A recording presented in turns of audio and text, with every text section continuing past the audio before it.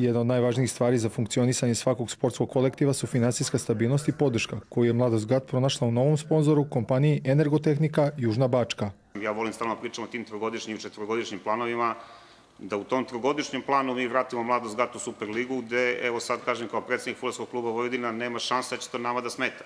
Dakle, nama odgovara još jedan Superligaš i mislim da je Novi Sad i kao grad koji ima sigurno najozbiljniju privredu u Srbiji, zaslužuje da ima dva superligaša. Saradnja nije za jednu godinu, za jednu sezonu. Sve ono što planiramo je dugoročno, strateški, smišljeno i nadam se da će se odstvariti u punoj meri. Pored novog sponzora Vetar u leđe ekipi Mladosti GAT trebalo bi da da i novi trener Branko Žigić, koji je na tom mestu zamenio Nemanju Krtolicu. Svoj debi na klupi Novosadskog prvoligaša imaće u subotu protiv Mačve.